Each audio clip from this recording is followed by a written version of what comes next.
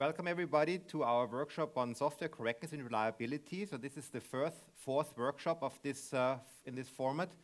And every year, Martin and I try to bring the very best speakers in our area to Zurich, and we are super happy that so many uh, of those people who we invite actually say yes and come here and, and give talks and present their work. So thanks a lot to all the speakers for, for doing that.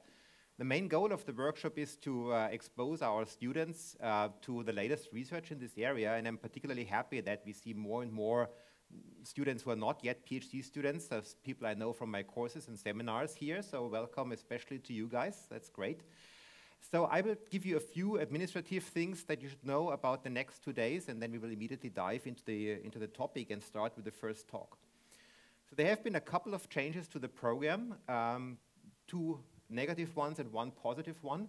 The positive one is that Anders Møller registered as, a, as an attendee for the workshop, and when we saw that, we immediately encouraged him to give a talk, and he said yes, so thanks a lot. It's really great to have you here. He was already uh, like a regular speaker in a sense two years ago, and now he's back, and, and we are really happy about that.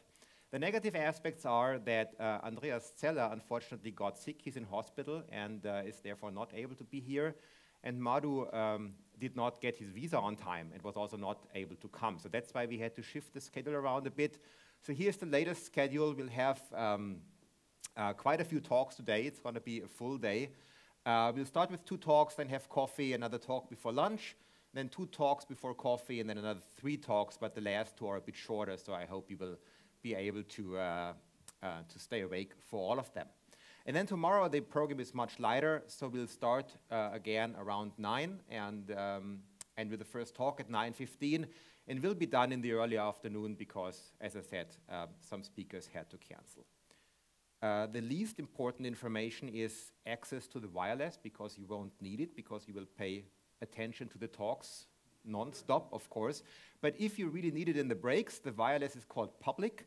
The username is WSCR, Workshop Software Correctness Reliability, and the password is 2016. Okay? So I update one character every year on this slide. Uh, you can guess which one that is. We have a couple of student volunteers around um, in the bag, like Arshavir and Marco, for instance, and Sharon. Uh, so if you have any questions, uh, if anything goes wrong, just talk to them and they will be able to help you. Uh, we will have coffee and lunch here. Uh, of course, we can use the terrace out there. The weather is good enough. Um, so we'll be basically in this room all day long. If you're interested in options for dinner, um, I think you also have this map on your program. And so there are, I mean, quite a few restaurants close by. If that's what you prefer, of course, downtown is also not far away uh, if you want uh, a wider variety. If you need any specific recommendations, just talk to me.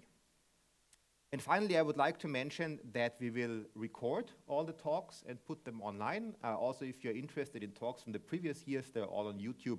That's also a nice way of uh, getting into some topics and, uh, and finding out about